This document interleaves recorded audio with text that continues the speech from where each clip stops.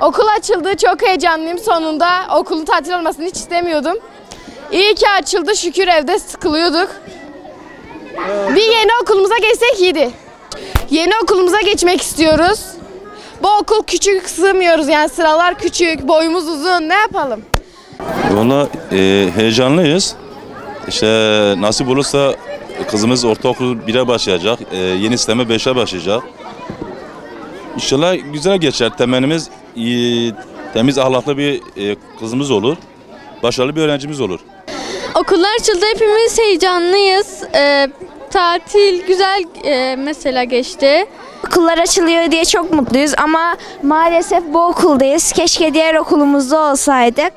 Biz burada aslında o kadar da mutlu değiliz. Diğer okulumuz bize daha güzel. Ee, eşyalarımızı getirirlerse çok sevineceğiz. Diğer okulumuz yapılırsa, tamamlanırsa çok mutlu olacağız. Mutluyum eee, ama çok mutlu değilim çünkü diğer okuluma gitmek istiyordum. Eee, yani iki yıldır buradayız. O yüzden hiç yani bu okul çok dar, kimse sığamıyor. 2022-2023 eğitim öğretim yılını bugün itibariyle açmış bulunmaktayız. E, Bu yılın tüm Milli Eğitim Camiası'na, bütün öğrencilere ve, ve palomuza hayırlı olmasını diliyorum.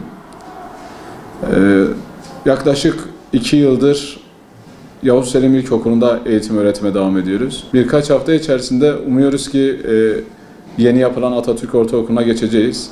Malumunuz biliyorsunuz e, Atatürk Ortaokulu depremden sonra hasar almıştı ve eğitim öğretime uygun değildi.